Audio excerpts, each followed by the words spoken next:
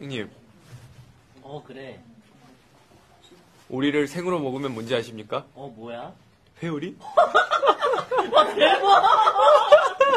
정말 재밌는 개그구나. 짠다. 아, 그럴 수 있죠. 역시 우리 매니저는 기가 막힙니다. 형님 박수 한번 쳐주시죠. 와우. 형님, 이것은 무엇입니까? 그건 꽃이지. 이것은 무엇입니까? 그것도 꽃이다. 야!